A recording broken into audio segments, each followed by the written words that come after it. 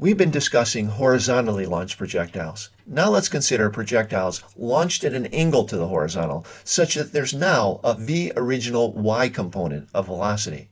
We can calculate the values of dx and dy by using these vox and voy's in our equation. Here's the formulas we've been using.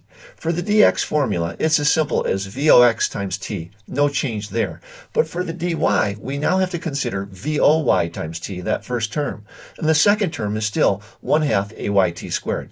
We're going to use negative 10 for the value of ay, even though we know 9, negative 9.8 will be a little more precise. So let's consider originally the vox is 12 and the VOY is 20. And let's fill in this table here for dx and dy values. For dx, it's a simple formula. We're just going to go 12 times the time, and we end up getting these values.